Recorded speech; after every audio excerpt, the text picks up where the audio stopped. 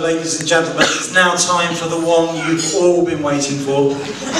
Would you please put your hands together for the best man?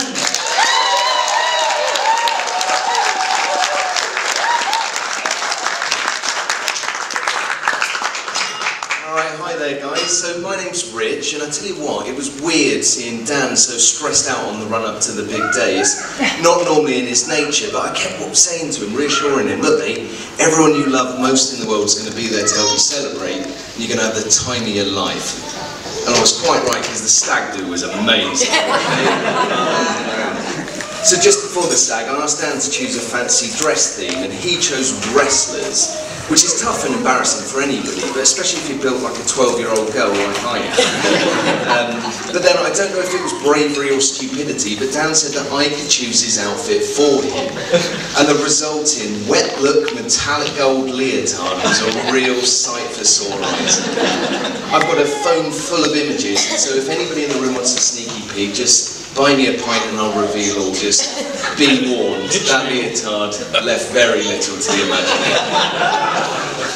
Now, before we get on to the moment that you've all been waiting for, which is obviously the right royal roasting of Dan Sandbridge, I want to do a couple of shout-outs myself. So I'm going to be talking about her royal loveliness, Queen Joanna, later on in the speech. So I'll jump straight for the parents, Pete and Ruth and Brendan Denise. On behalf of everybody, once again, thanks for your help putting on this phenomenal day and for sculpting Dan and Joanna into two of the coolest people on the planet.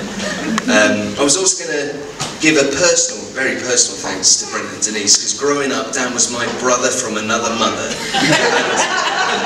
the Sandbridge household was my home from home, so genuinely, well, from the bottom of my heart, thanks to your love and hospitality. Um, obviously, I also wanted to give a big thanks to the ushers, the three M's, Mike, Matt and Martin, uh, triple trouble, so a big thanks to the lads and to Tony Smith. Tony, give us a wave. Big thanks to all those lads for helping to make Dan's now legendary stag do an event to remember. Well, kind of remember. um, and finally, I wanted to give a shout out to the bridesmaids and the bridesmen, so Joanna's posse. Aside from doing a remarkable job in keeping Joanna's sanity in check, I congratulate them for injecting back all the glamour and class into today's proceedings that the ushers sucked out of day. So, well done, you deserve a medal for that. Um, and they all look so stunningly lovely uh, that they absolutely deserve a huge wolf whistle. But sadly, I'm not very good at whistling, but I do know a man who is. So, Usher Martin, do us the honours.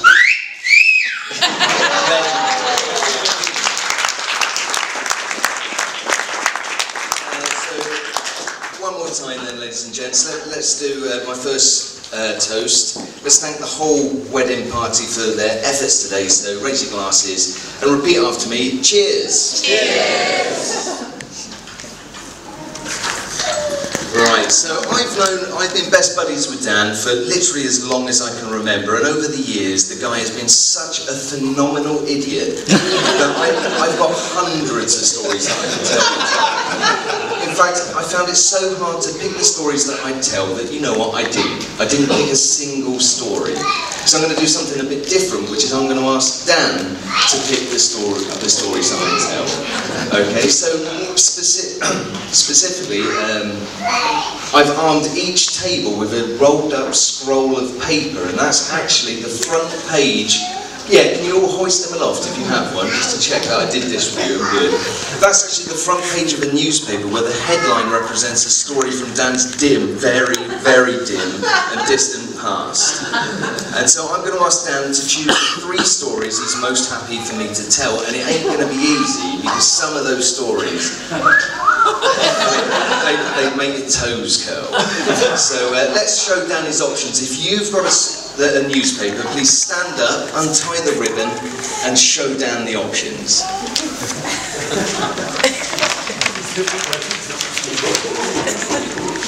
Okay, so just to share, share the titles with everybody, and buy oh, buy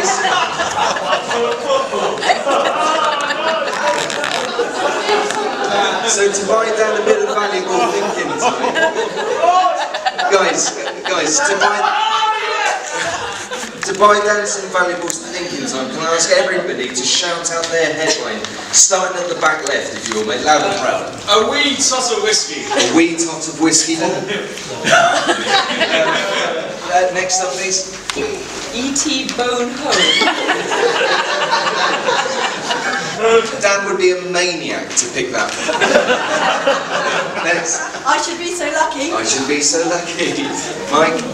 Teach us all the whole of the moon. See, uh, Incidentally, in that context, the spelling of whole is appropriate. So maybe picking up on that one. Um, that table. Sexy, sexy Conga. That's my mum. Bit weird.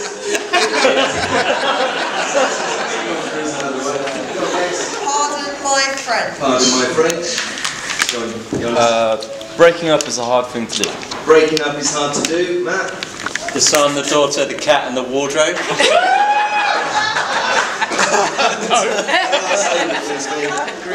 Grooving with the Grovers. Dan, for the sake of both of our dignities, please choose wisely, mate. Where am I going first? Which story am I going first? None.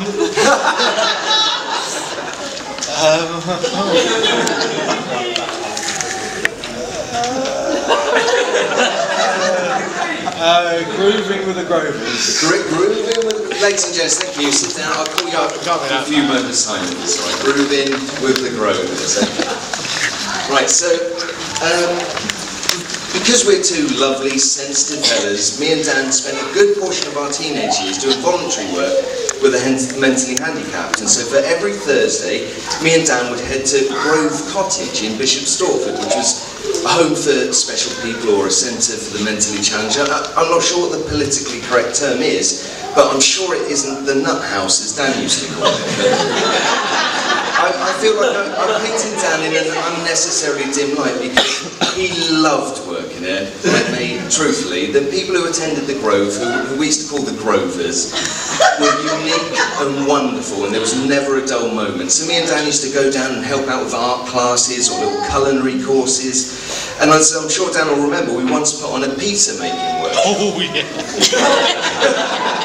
Pizzas that the Grovers made were extraordinary. I mean, the pizza base was this thick, you know, a normal thin crust pizza, but the toppings were this.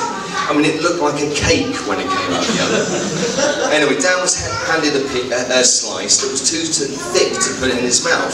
So he popped it on a plate and cut into it, and underneath the layers of cheese was a whole, unpeeled onion.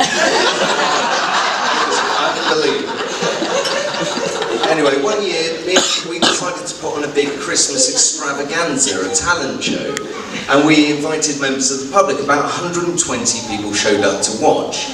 For the show, each volunteer teamed up with a Grover to put on a performance. I teamed up with one of the Lady Grovers to deliver an ear-splitting rendition of Summer Lovin' awful. I just cringed thinking about that. But Dan teamed up with our very favourite Grover. What was his name, Dan? Nigel. Nigel, yeah, Grover Nigel. Dan and Nigel decided to put on a stand-up comedy routine. I mean, what could go wrong with that? Dan's plan for the routine was that Dan would set up a classic joke and then Nigel would deliver the punchline. It was simple, bulletproof, and they practiced for hours and hours to get it, to make sure it went well on the night. Yet on the night, the routine was hilarious for all of the wrong reasons. Dan did what he was supposed to. He'd read out a joke from a cue card, but instead of reading out the appropriate punchline, Nigel just randomly made up every answer. I've got the whole routine on video at home, and I'd love to have shown you it today, but I've done the next best thing, which is actually I've transcribed, I've jotted down a couple of the jokes. So we'll relive a couple of them.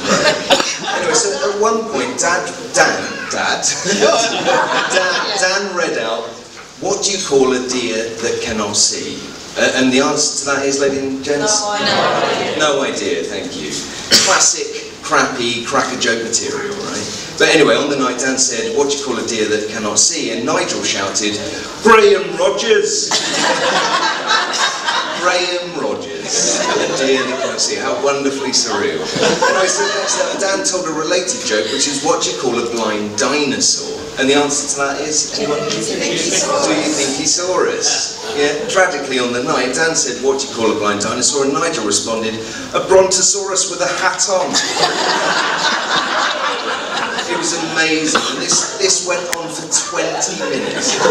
Dan grew redder and redder with every failed joke. The 120 people in the audience were silent, dumbfounded, just occasionally turning to each other thinking, how the hell am I meant to react to this? There were just two people in that room laughing, which was me and head usher Matt Davis. At the back of the room, absolutely wet himself. Know, seeing Dan floundering on stage for the most excruciating 20 minutes of his life will always be one of our very most treasured memories. so there we go. Dan, time to pick story number two. So, ladies and gents, if, if you hold the paper, please stand up. Let's show the rabbit to the greyhound. Wardrobe! As it were. Wardrobe! No! no, definitely not that. So, Dan, Wardrobe! once again, mate, you ready to pick, pick story number two? Uh, just because it doesn't sound so bad, pardon my French. Pardon my friend. Pardon. Thank you, ladies and gents. Please sit down. Don't get too comfy. This is quite a quick fire one, but good. Right. So, pardon my French. Now, at school, Dan was generally a good boy, but just like he does now, he loved a bit of mischief. And he once got into big trouble because he'd written something rude in tiny, tiny letters at the top of his French GCSE homework. Now, he handed that in, hoping that the teacher wouldn't notice it, but of course she did. And not only was Dan given detention, he was told to write a, le- a letter of apology to the teacher. Oh! Now, guess what, ladies and gents? I've got a very special surprise because after the teacher read the letter, I stole it from her desk. I have it here. Does, um, I knew that keeping this sort of crap would come in handy. Uh, does anybody want me to read it out? Here we go. So it's, it opens with, Dear Miss, oh sorry, Dear Mr. Shoon, I am sorry for what I done. what, what did you done? I mean, how Dan, how are you hoping to learn French when you haven't mastered it? I am sorry for what I done, and I promise it won't happen again. In hindsight, it was inappropriate of me to have written at the top of my homework, poo bum women.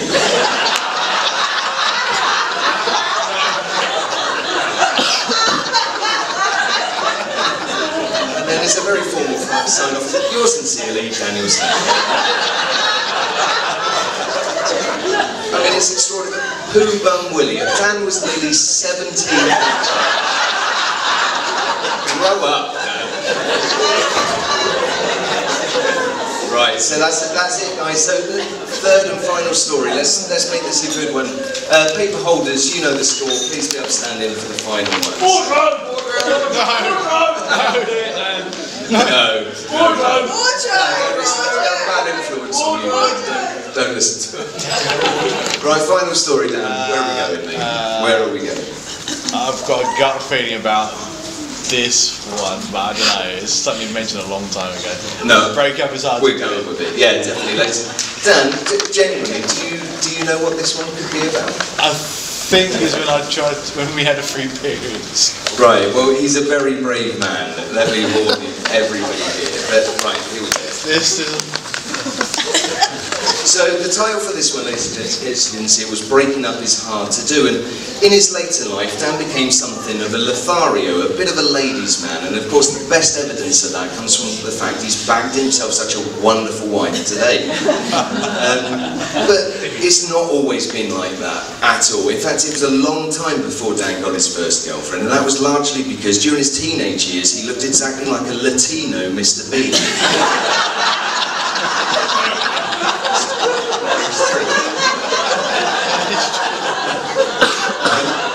Still, by the time he was 16, Dan had moved on to his second girlfriend, and by now his confidence with the ladies was through the roof. He was eager to move on to pastures new to sow his wild oats, but he'd never dumped a girl before or anything remotely like it. And so at school, Dan asked me and again Matt Dale for two bits for, for some advice, and we told him two things. We said, look, one, She's a really nice girl, so out of respect, you should finish with her in person, or at the very least over the phone. Do not do it in a letter or a fax. because it was the 90s, right? They didn't have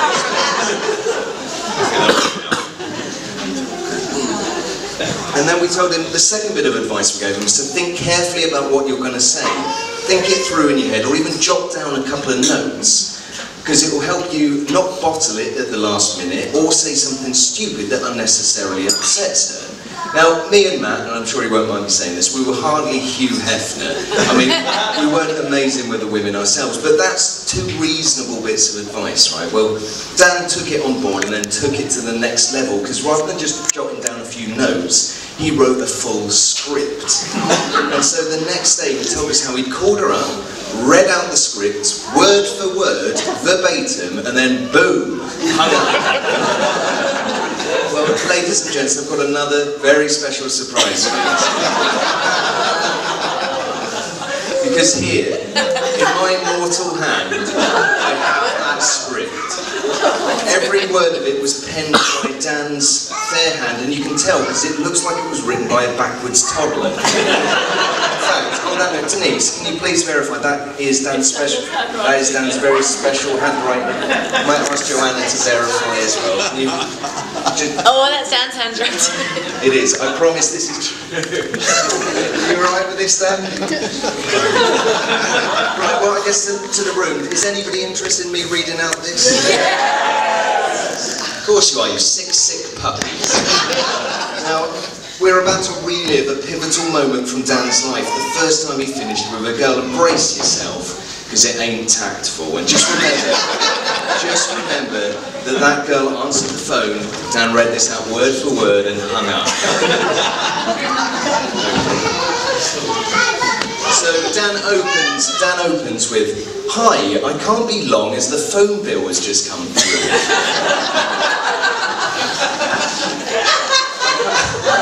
I can't be long as the phone bill has just come through and I've got caned by my parents for being on the phone so much and I've been banned.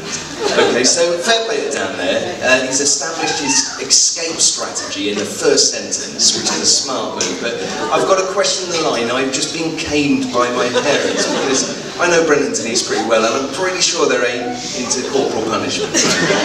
anyway, we'll let it slip. So Dan, Dan continues. He says, "Truth is, I don't think we're working out. It's not you, it's me." Now, before I read that next line, because there's always a next line. Um, let's, I wanted to clear something up because I'm sure everybody in the room has heard that horrible old breakup cliche before. It's not you, it's me. I bet, in fact, I bet half the room's probably used it at some point. Um, and even though it's complete and utter bull, it comes from a good place. It's intended to save the feelings of the person you're finishing with. So you normally say, it's not you, it's me. I'm just so busy right now, I can't give you the time you deserve. But again, it, it comes from a good place. But sadly, Dan didn't quite grasp that because. I quote this verbatim. This is what Dan says. It's not you, it's me. I just don't fancy you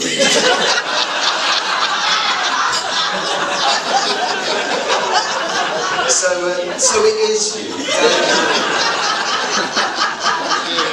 it's official, mate. You are an idiot. So, Dan, Dan continues anyway. He says, Anyway, I think in relationships both have to be honest with each other, and I haven't been entirely honest with you. I guess I'm beating around the bush here, but when I got dumped by my last girlfriend, I went out with you on the rebound. Daniel. I've been doing a, a lot of thinking, and I feel it would be best if we separated. I don't know how you feel, but that would be best for me. Sorry it's so sudden. That's how I feel. Right, I better go now before my parents whinge. See ya.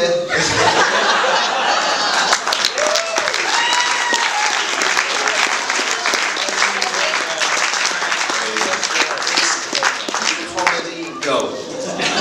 There's so many good lines in that. And I just, but you do have to think about that poor girl on the end of the phone. I bet her head was spinning. But I was thinking, Joanna, you should be very grateful that Dan loves you so much. I am. Otherwise, you could have been on the receiving end of one of these bad boys. I don't even let her get a word in edgeways. no, you didn't, did you? I mean, that's extraordinary.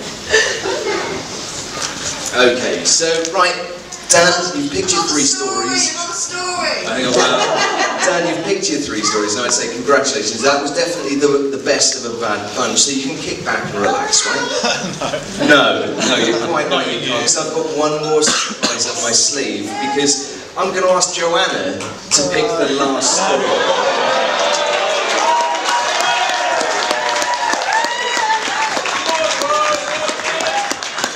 Okay, so all, look at Dan's little face. You're right to be worried, mate. You are right. Those titles are just. So, all paper holders, one more time, please be upstanding for this super secret bonus round. Um, Joanna, for the sake of all that is good and pure, please choose wisely. Well, I am interested in Sexy Sexy Conga.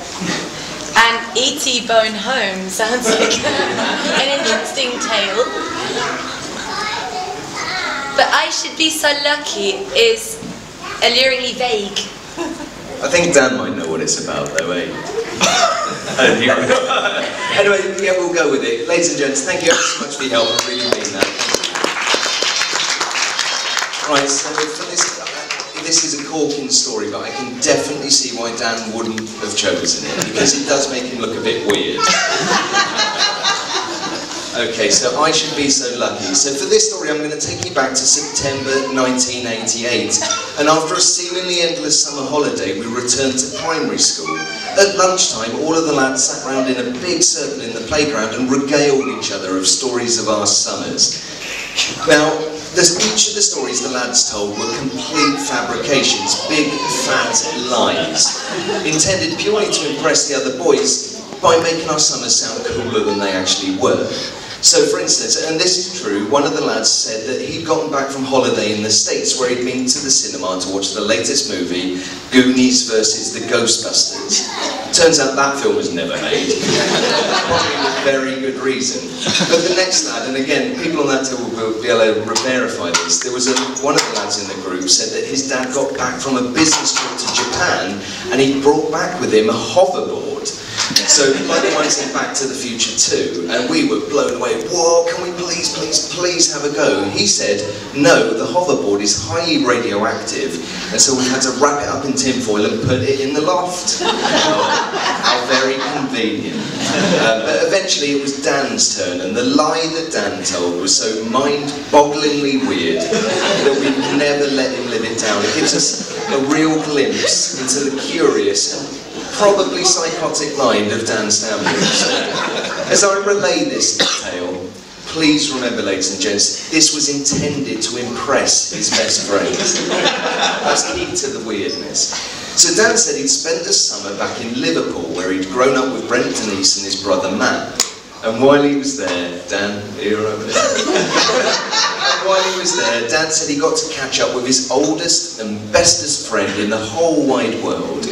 And so we felt pretty dejected. It was like, well, Dan, we thought we were your best mate. Who the, who the hell's this guy? Tell us about him. So Dan did. He said, well, he doesn't have any eyes or ears.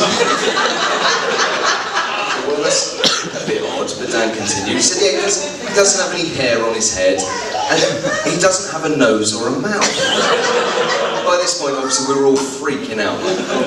But Dan ploughed on regardless. He said, yeah, he, doesn't have any arms or legs, and on his body, he doesn't have any nipples or a belly button. And then, and I specifically remember Dan saying this because we were like seven years old, and I thought, oh, that's a bit rude. But Dan said, he doesn't have a willy or a bum hole. Quite specific, that last one. So, let, just to summarise then, Dan's best friend in the whole world was Mr. Potato Head.